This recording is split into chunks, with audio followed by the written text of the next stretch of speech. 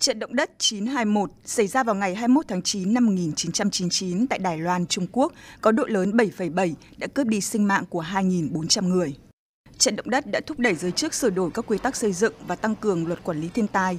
Để rồi, 25 năm sau, khi một trận động đất có độ lớn tương tự xảy ra, thiệt hại về người và của đã được giảm đáng kể.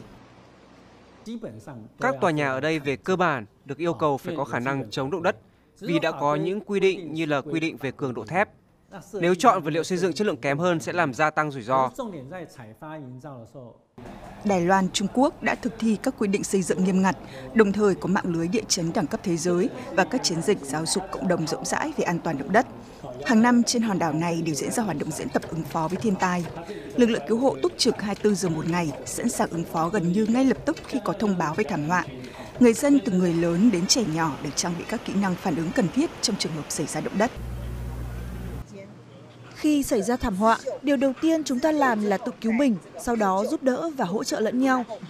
Rồi bình tĩnh làm những việc tiếp theo như những gì chúng ta đang làm lúc này.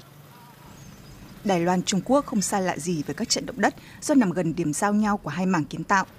Tuy nhiên, việc rút kinh nghiệm từ những trận thiên tai trước đã giúp hòn đảo này có những quy định và cách ứng phó kịp thời để giảm thiểu thiệt hại. Hiện công tác khắc phục hậu quả đang được tiến hành khẩn trương và sinh hoạt của người dân đang dần trở lại bình thường.